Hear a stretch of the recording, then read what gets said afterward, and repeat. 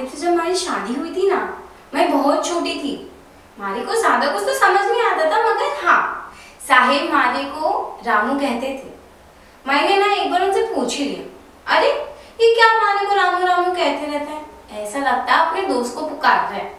साहेब ने मुझे बड़े प्यार से कहा कि, अरे पत्नी दोस्ती तो होती है, दासी थोड़ी ना। मारे को भी यही लगा कि साहेब का दिल कितना बड़ा है। फिर साहेब विलायत चले गए।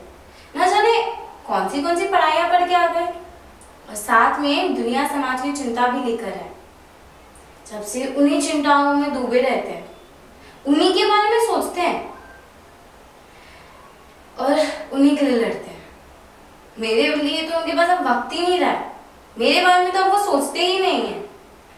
मारे को गुस्सा तो बहुत आता है, मगर फिर लगता है कि मारे पति कोई साधारण इंसान थोड़ी ना वो एक महापुरुष है। एक महापुरुष के लिए रामाबाई क्या तुम इतना भी नहीं त्याग सकती?